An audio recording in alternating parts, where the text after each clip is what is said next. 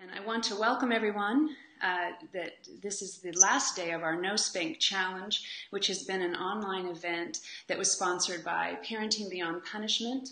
And this event was intended to support parents who have made a commitment to stop yelling and spanking and using other punitive methods of parenting their children. And I want to especially thank you, Dr. Alfie Kohn, for coming on today to talk about uh, your great book. It's called The Myth of the Spoiled Child. Uh, if you're not familiar with Dr. Kohn's work, uh, he's published many books and, and quite a few articles. My favorite is the Unconditional Parenting book. It encourages parents to really abandon the idea of controlling children through a kind of reward and punishment model and to support their intrinsic motivation as, as uh, children to do well, to be connected to us, and to live a happy creative life.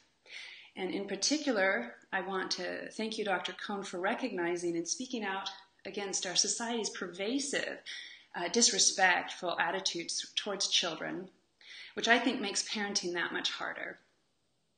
So, I thought your book was, uh, in, in one sense, it's wonderful because it uses science to help us get a perspective on our cultural values that are not supportive of children.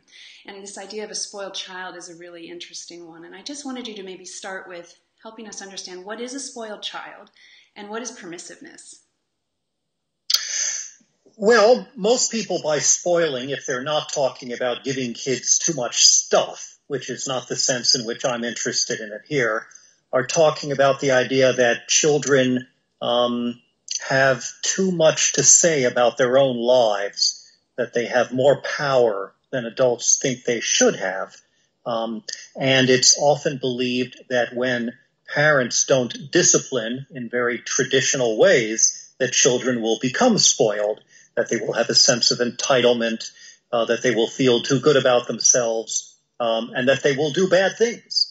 Because at the core of these beliefs is the notion that children, uh, without firm control and regulation, uh, will swing from the lights and eat ice cream all day and never go to sleep and be nasty toward everyone. So a really dark view of children and by extension of human nature underlies the very conservative beliefs about kids that, as I try to explore in the book, turn out not to be very well founded. Yeah, that's really so. Can you help uh, help our, our audience understand where this belief even comes from? What what's motivating this idea or this attitudes towards children? Well, it's attitudes about children and about people more generally that tend to lead towards specific assumptions and behaviors on the part of parents and others in our society.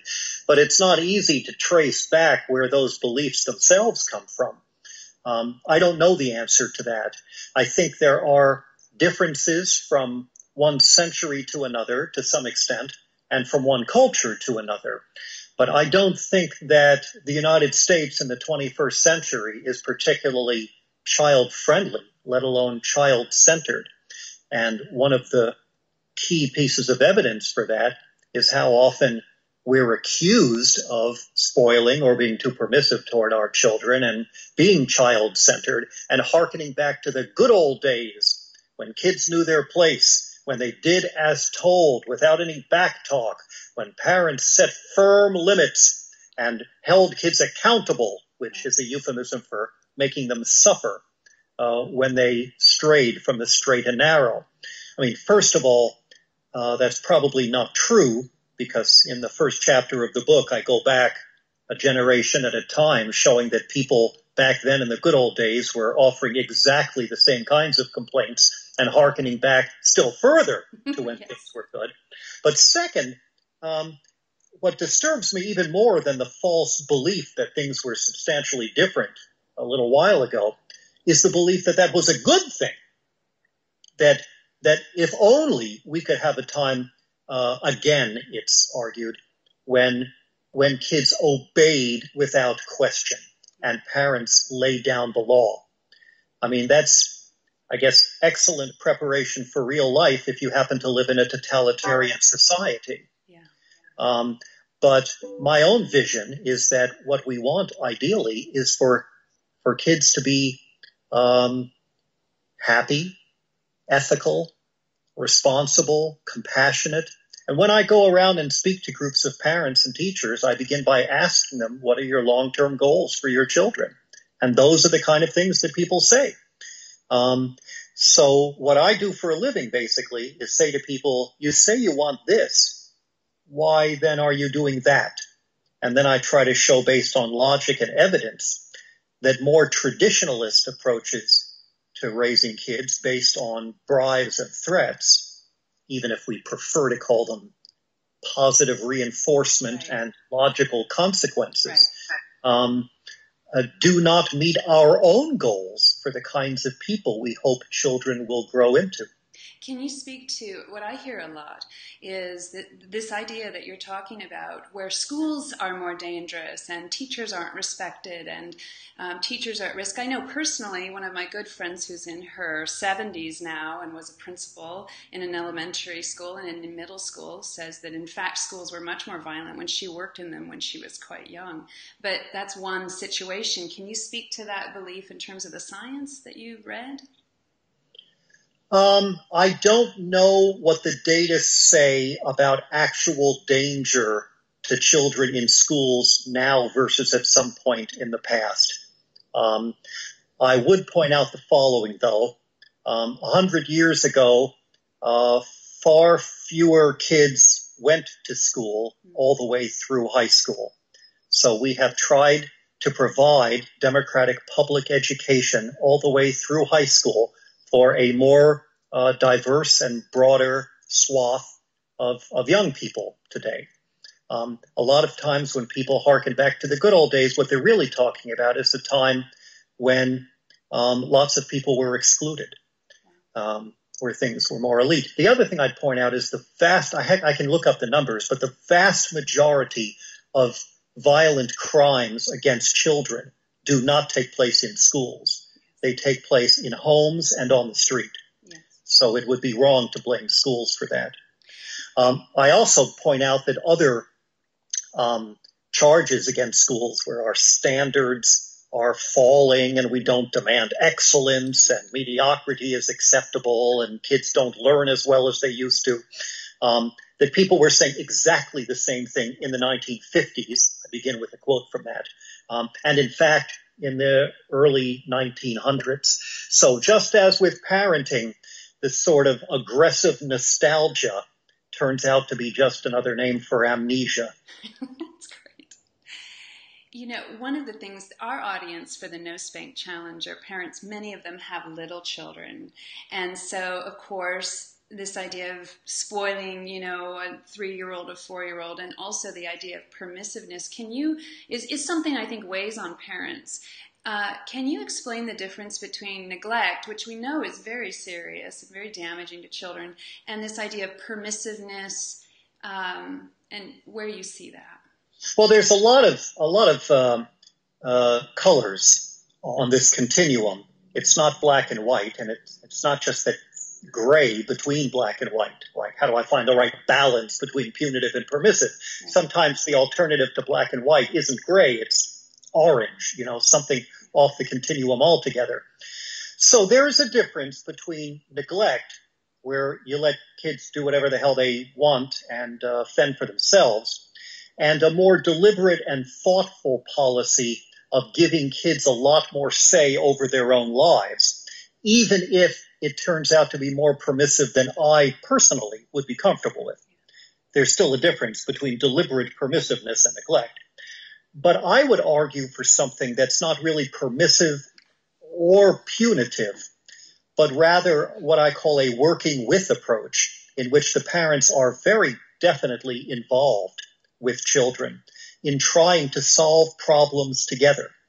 And I think what's so disturbing and limited and limiting about this notion of um, either you're permissive and neglectful or you're punitive is that if you don't like one of those options, you feel like you have no choice but to embrace the other. Yes. So it makes choosing easy. Yes. But, you know, and, and, there are families where one parent is permissive and the other one is punitive, right. based presumably on the assumption that two dysfunctional approaches magically cancel each other out.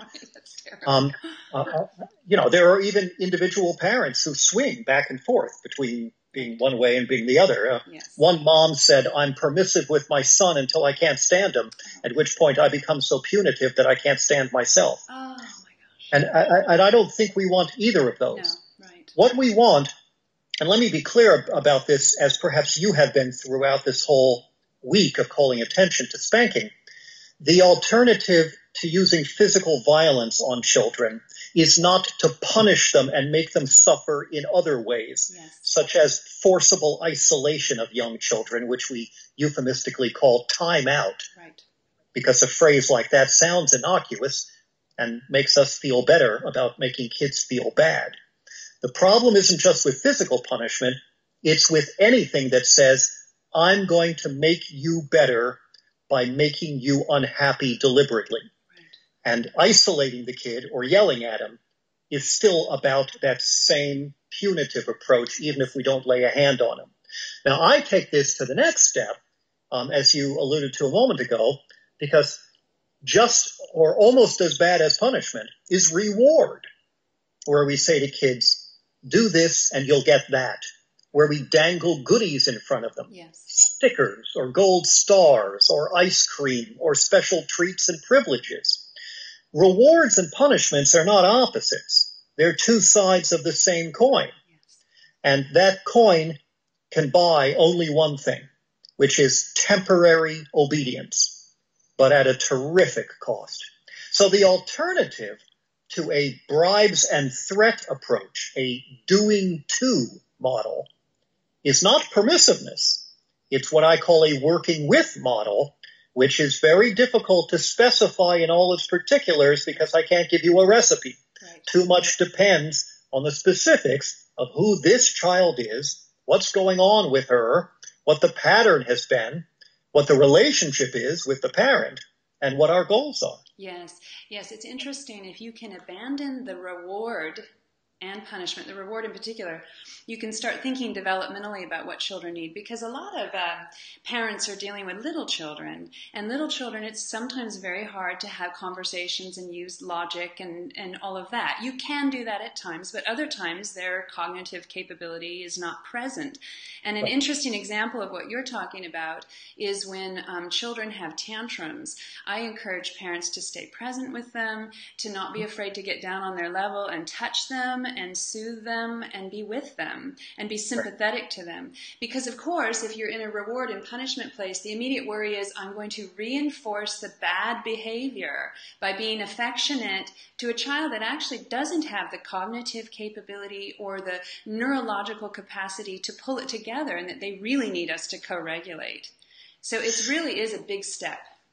The, the practical implication of these examples, I agree with you, are first of all, you can't solve the underlying problem at the time of the tantrum. Right. That's that's clear. All you can do is help the child feel safe and loved, and if possible, get the child to a different place where he or she doesn't feel overwhelmed.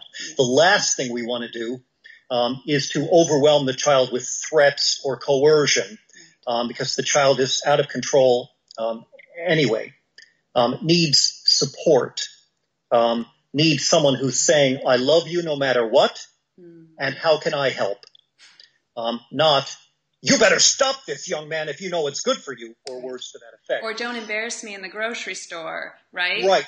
And the don't embarrass me is key because uh, studies have confirmed what I think all of us know anyway, which is that when we're in public, we tend to become even more controlling, yes. which is the last thing that kids need. Yes. And uh, my hypothesis is that that's more true in a society like ours, yes. where there's generally critical judgment, even from strangers, for being insufficiently controlling yes. rather than for being too controlling.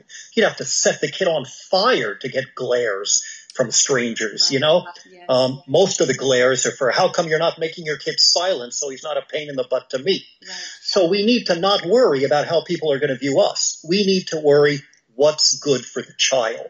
Yes, and as a society, it would be wonderful if we were more supportive of parents having a hard time with their children and not assume we know why, but just to love them and to be appreciative and right. smile and be kind. Right.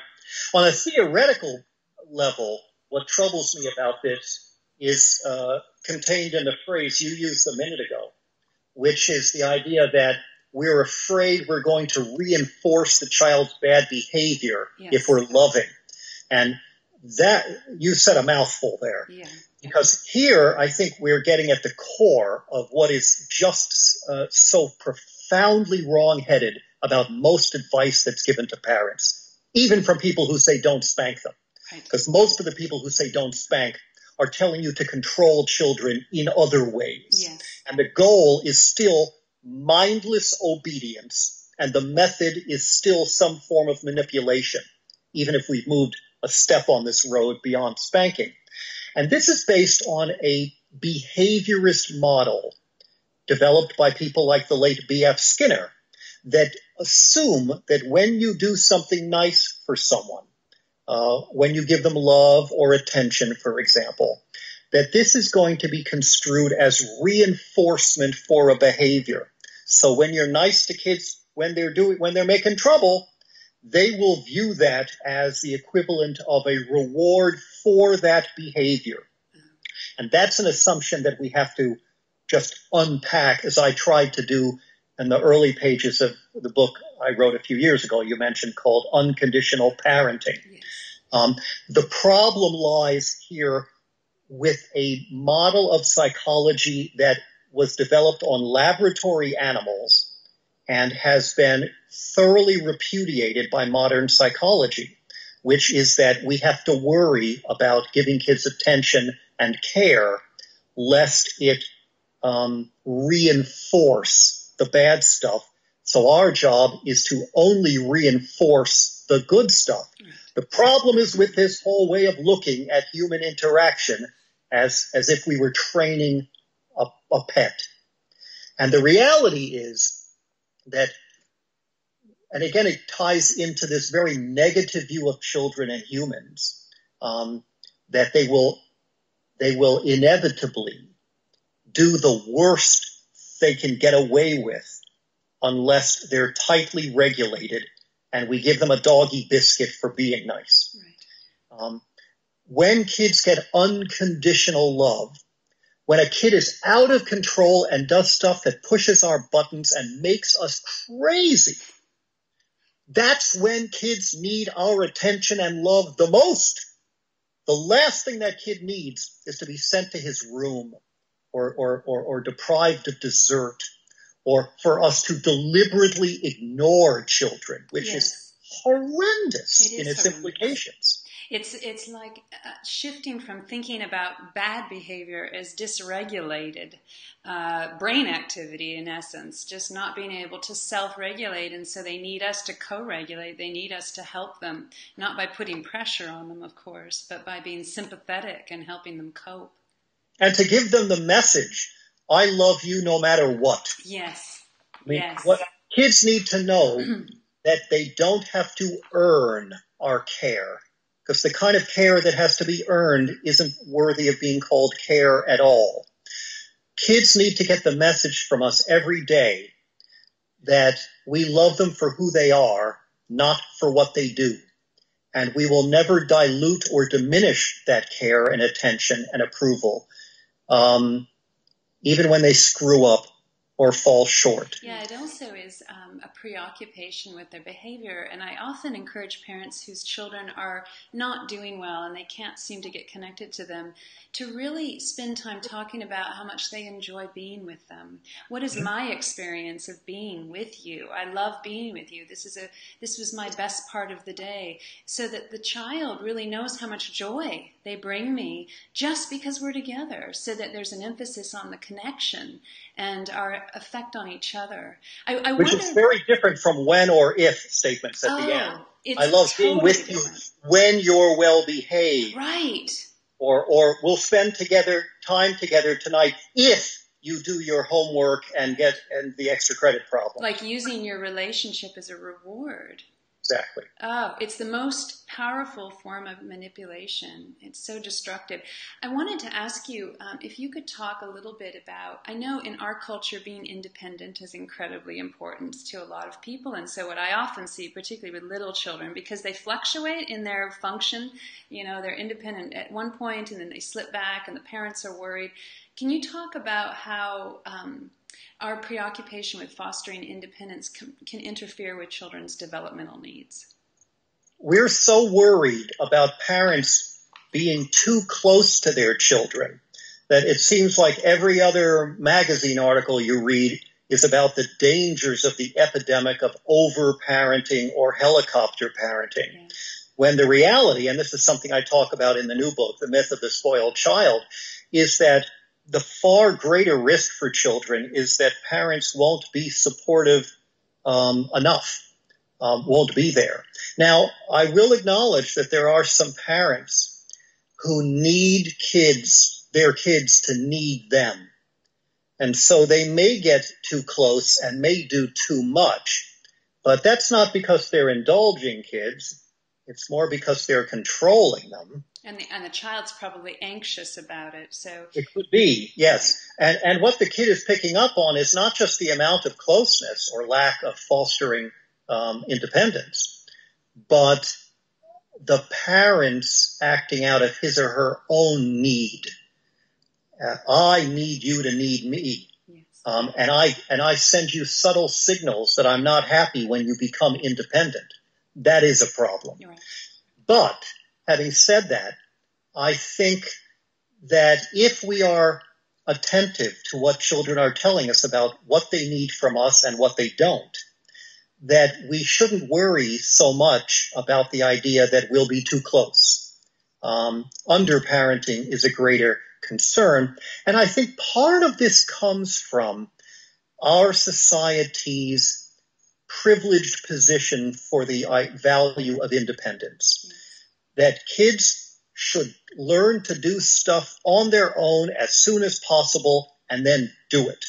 And we see this with toddlers. You're a big girl now, you can use a fork, or I'm not going to pick you up, you can walk. And then it, we see it again with, with teenagers and so on, where the idea is if the kid is 18 or the kid goes off to college, the parent should back the hell off and the kid is on her own. This is not a value that is shared universally. It is embraced more by men than by women, more by people in the Western world than in the Eastern world, more by middle class people than by working class people, more by whites than by people of color. And yet we tend to assume that it is a universal value uh, and there's something wrong if we're continuing to support kids. And uh, I think that's not necessarily true. We can support their autonomy, which is their sense of being able to fully own decisions that they make without necessarily pushing them to become independent. Those two aren't the same thing. Yes, that's really very nice. Yeah, um, you know, I we have just a little time left, and one one of the common themes of parents who wanted to ask you questions uh, was, you know, many parents may themselves be kind of high strung or um, strong willed, and so they, for whatever reasons, I'm sure there's many, uh, they have a very strong-willed child who you can't always reason with, who is very willful, who can be persistent beyond their control or of their own self-control. And so I'm wondering, in your book, you talk about um, reflective rebelliousness, and I'm hearing it and I'm thinking about teenagers when you're talking about it, but I'm also thinking that, okay, I'm a parent of a little child, and I want to encourage this uh, reflective rebelliousness, but at the same time, my son is such a handful, and and he's so um, he's not easygoing.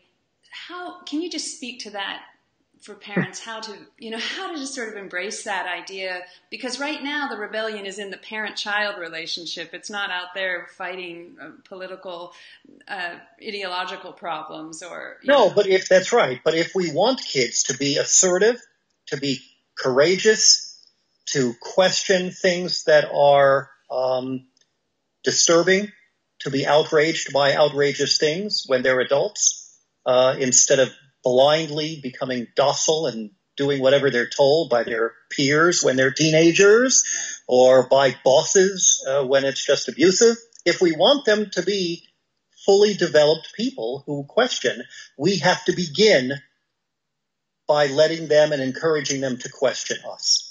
Um, not by being obnoxious and rude and aggressive, um, but by but by not being defensive and getting huffy when they say "but why" or point out inconsistencies in what we've said.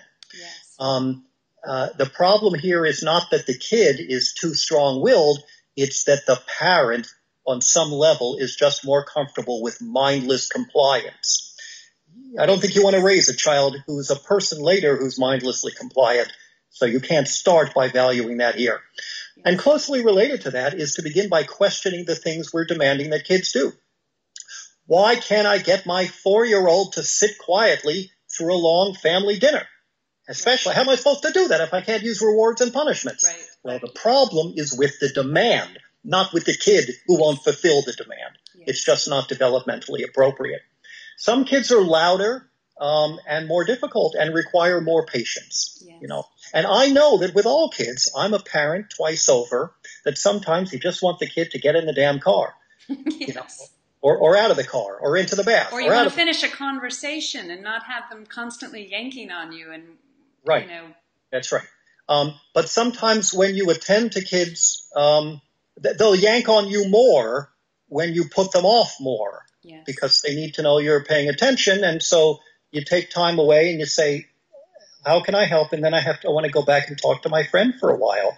What do you think after I listen to you, you could do that will be fun for you by yourself for a few minutes, giving the child as much choice as possible. Um, I think what's hard for some parents is that um, sometimes the child's just not developmentally there either. Like they really do need you to be with them. They really can't tolerate a whole bunch of friends coming over and a dinner party. They're just not that, yeah, maybe your friend's son can do it. And so it's hard to accept that my child actually is overstimulated by social uh, activities and really needs a lot of co regulation, a lot of self soothing with me and it may be inconvenient, and that's true. You know, and I, I, like to tell parents if you, you know, if you want uh, a household that is uh, quiet uh, and and and tidy all the time, maybe you should have had tropical fish instead of children. You know, there, to some extent, you may just have to acknowledge that there will be sacrifices here, though that's easier to say when you're not in the middle of it and you haven't been able to finish a conversation or a nap or a shower, you know, in, yes. in the last, well, you can't remember how much. Right. But the point is that punishments and rewards to make kids give you that space not only won't solve the problem, but will strain and fray your relationship with the child and will make things worse in the long run. No reward or punishment ever helped children become better at self-regulating, become more caring and concerned about other people, or become more ethical, more responsible, or happier. All it does is harm. Moving past physical violence like spanking, which teaches kids to hurt other people if they're stronger than they are, um, is the beginning of a process that continues by questioning all punishment and all reward. Not so we're permissive, just if I can sort of wrap all of this up now and come back to where we started.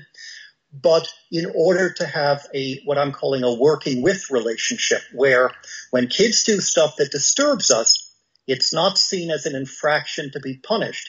It's seen as a problem to be solved together. Yes, that's beautiful. Thank you so much, Dr. Kohn. Thanks for your work and for your time today. My pleasure. Thanks for your interest in all you're doing. Yes, bye bye.